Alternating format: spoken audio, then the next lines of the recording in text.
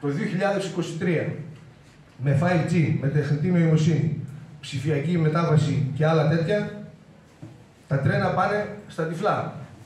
Κι όμως γίνεται. Και γίνεται σε όλα τα καπιταλιστικά κράτη. Μόνο το 2021 στην Ευρωπαϊκή Ένωση συνέβησαν 1.389 σημαντικά σιδηροδρομικά ατυχήματα με συνολικά 636 νεκρούς. Όχι φίλες και φίλοι, υπάρχει κράτος, ένα εχθρικό κράτος απέναντι στο λαό, όπως είναι όλα τα καπιταλιστικά κράτη, απέναντι στους λαούς τους. Υπάρχει το κράτος του κεφαλαίου και μάλιστα είναι πολύ ικανό. Ικανό να διενεργεί ηλεκτρονικούς πληστηριασμούς, αλλά ανίκανο να τοποθετήσει ηλεκτρονικά συστήματα ασφάλειας στα τρένα. Ικανό φυσικά να καταστέλει τους λαϊκούς αγώνες, αλλά ανίκανο να προστατεύσει το λαό από φυσικές καταστροφές. Κράτος ικανό να βγάζει με την ανεξάρτητη δικαιοσύνη παράνομε απεργίε, αλλά κουφό να ακούσει τις καταγγελίες των εργαζομένων για τα ανύπαρκτα μέτρα προστασίας. Εχθρικό για τις ανάγκες μας, αποτελεσματικό για το κεφάλαιο και δολοφονικό για το λαό και την νεολαία. Αυτό το κράτος θέλουν να σώσουν και οι ύπουλε προτάσεις από ΣΥΡΙΖΑ, ΜΕΡΑ 25 και άλλους οπορτουνιστικούς χώρους για κρατικοποίηση ή εθνικοποίηση, παραδείγματος χάρη της ΔΕΗ, του ΟΣΕ, της ΕΙΑΔ. Λες και αν ανήκουν στο κράτος, θα σταματήσουν να λειτουργούν μέσα στον καπιταλισμό, θα σταματήσουν να λειτουργούν με τη λογική του κόστους ωφέλου. Τι λες και όταν ήταν δημόσια η ΔΕΗ, δεν έκοβαν το ρεύμα σε οικογένειες που δεν είχαν να πληρώσουν ή δεν εκτοξεύτηκαν οι τιμές. Αυτές οι προτάσεις ούτε καινούργιες είναι, αλλά ούτε προοδευτικές. Σε αυτή την κατεύθυνση, όλες οι προηγούμενες κυβερνήσεις, όπως και η σημερινή της Νέας Δημοκρατίας, τρέχουν να εξυγχρονίσουν και να ψηφιοποιήσουν το αστικό αυτό κράτος. Για να το κάνουν πιο αποτελεσματικό για τους μονοπωλιακούς ομίλους και πιο αντιλαϊκό για τους εργαζόμενους και τα λαϊκά στρώματα. Για να συσκοτήσουν την αλήθεια, τα αστικά επιτελεία προβάλλουν συστηματικά ένα παραπλανητικό αφήγημα που έχει δύο όψεις. Από τη μία παρουσιάζουν την αλματώδη τεχνολογική πρόοδος σαν ένα αντικειμενικό κίνδυνο, σαν ένοχο για τη διόγκωση της ανεργίας και για τον περιορισμό των δικαιωμάτων μα. Από την άλλη, παρουσιάζουν τον ψηφιακό μετασχηματισμό σαν το μαγικό ραβδί που θα ανοίξει τον δρόμο για την κοινωνική ευημερία και για τη φιλολαϊκή μεταμόρφωση του σημερινού απάνθρωπου συστήματος εκμετάλλευσης και του κράτους του. Ένα εύκολο δρόμο, χωρίς ταξικούς δηλαδή, ανατρεπτικούς αγώνες και μεγάλες κοινωνικές συγκρούσεις. Η ίδια όμως η ζωή αποδεικνύει ότι από μόνη της αποδεικνύει ότι η τεχνολογική πρόοδος δεν αποτελεί κίνδυνο, αλλά ούτε και τη θαυματουργή λύση για τα προβλήματά μας. Το ζήτημα είναι ποιος και για ποια συμφέροντα καθορίζει την ανάπτυξη τον προσανατολισμό και την εξαρτήση της νέας τεχνολογίας και της επιστημονικής έρευνας.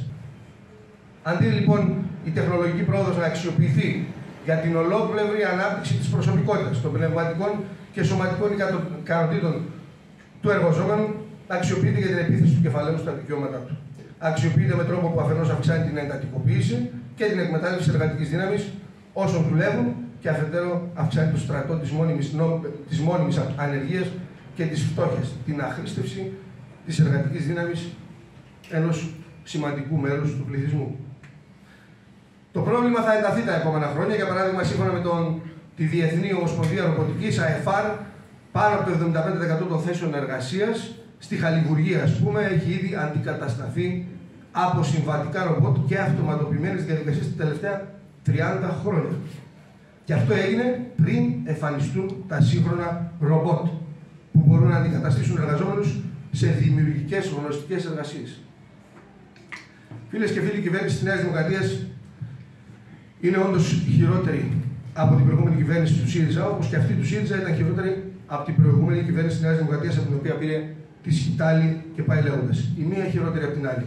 Γιατί όλο και χειρότερο γίνεται για την εργατική τάξη, για όλο το λαό στο σάπιο σύστημα που όλες αυτές οι κυβερνήσεις υπηρετούν.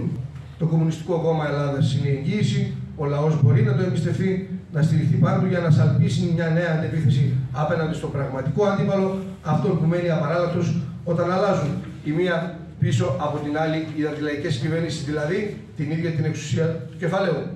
Φίλες και φίλοι, συντρόφοι, η θέση που παίρνουμε σήμερα είναι ακριβώς γιατί έχουμε πρόγραμμα επιστημονικά επεξεργασμένο. Πρόγραμμα εργατικής λαϊκής διακυβέρνησης. Πρόγραμμα εξουσίας. Είμαστε έτοιμοι όταν η εργατική τάξη όταν ο ελληνικός λαός το επιλέξει, να αναλάβουμε την ευθύνη μας σε μια λαϊκή διακυβέρνηση που πρωταγωνιστές θα είναι η ίδια παραγωγή του πλούτου και όχι οι κυφίνες που τον απομιζούν.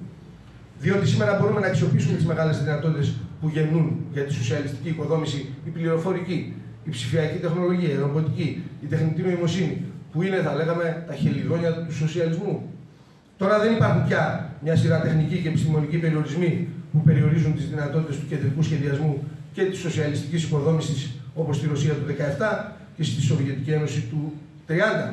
Τώρα έχει αυξηθεί σημαντικά ο βαθμός κοινωνικοποίησης τη εργασία και της αυτοματοποίησης της παραγωγής. Δεν έχουμε κανένα λόγο να παγιδευτούμε και να διαλέξουμε με ποιον θα χάσουμε λιγότερα την επόμενη μέρα. Δεν έχουμε κανένα λόγο να διαλέξουμε με ποιον θα χάσουμε πάλι εμείς με τη νέα κυβέρνηση της Νέας Δημοκρατίας ή του ΣΥΡΙΖΑ για να θησαυρίσει ξανά το κεφάλι. Μπορούμε και πρέπει να καταδικάσουμε όλους τους ενόχους που μας οδήγησαν στη σημερινή κατάσταση. Μπορούμε και πρέπει να πάρουμε θέση μάχης δίπλα στο Κομμουνιστικό Κόμμα Ελλάδας, να ενισχύσουμε τον κουκουέ παντού, στους χώρους δουλειάς, στις γειτονιές, στην εκλογική μάχη, να υπάρξει πιο δυνατή λαϊκή αντιπολίτευση μέσα και έξω από τη Βουλή, μπροστά στα δύσκολα, μπροστά στην επόμενη κρίση που έρχεται. Μπορούμε και πρέπει να αγωνιστούμε για να κερδίσουμε τη ζωή που μας αξίζει, αγαπητοί φίλες και φίλοι. Καλή δύναμη σε όλους.